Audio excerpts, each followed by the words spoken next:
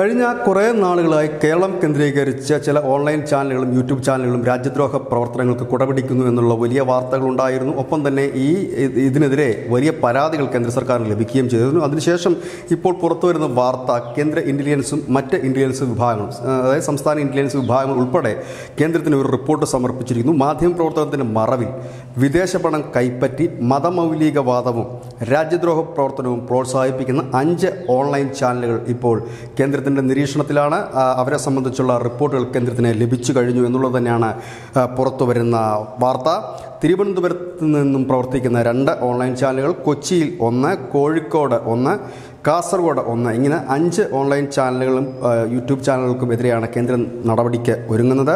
ഈ ചാനലുകളുടെ ഉടമകളുടെ ബാങ്ക് അക്കൗണ്ട് വിവരങ്ങൾ ചീഫ് എഡിറ്ററുടെ പശ്ചാത്തലം അതുപോലെ തന്നെ ബോർഡ് അംഗങ്ങളുടെ ജോലി ഇവർക്ക് മാധ്യമ സ്ഥാപനങ്ങളോ അല്ലെങ്കിൽ മാധ്യമ മേഖലയായിട്ടോ എന്തെങ്കിലും തരത്തിൽ ബന്ധമുണ്ടോ എന്നും പരിശോധിച്ചിട്ടുണ്ട്.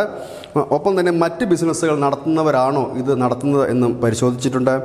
ഒപ്പം തന്നെ ഏതെങ്കിലും സംഘടനയിൽ പ്രവർത്തിച്ചിരുന്നവരാണോ ഇപ്പോൾ പ്രവർത്തിക്കുന്നുണ്ടോ എന്നുള്ള കാര്യവും ഈ ഇന്റലിജൻസ് റിപ്പോർട്ടിൽ വ്യക്തമാക്കിയിട്ടുണ്ട്.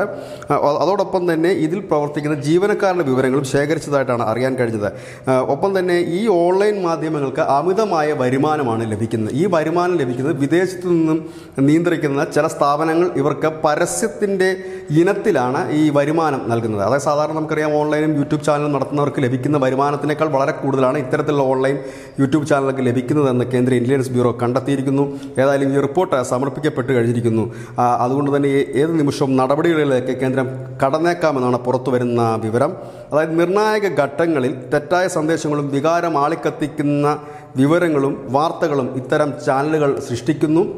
രാജ്യത്ത് അരാജകത്വമുണ്ടാക്കുവാനും രാജ്യദ്രോഹ പ്രവർത്തനങ്ങൾക്ക് കുടപിടിക്കുവാനുമാണ് ചാനലുകൾ ശ്രമിക്കുന്നത് എന്നുകൂടി ഈ റിപ്പോർട്ട് അടിവരയിടുന്നു. ഏതായാലും കേരളത്തിൽ കഴിഞ്ഞ കുറേ നാളുകളായി ചില ചാനലുകളും യൂട്യൂബ് ചാനലുകളും ഒക്കെ കേന്ദ്രത്തിന്റെ നിരീക്ഷണത്തിലായിരുന്നു.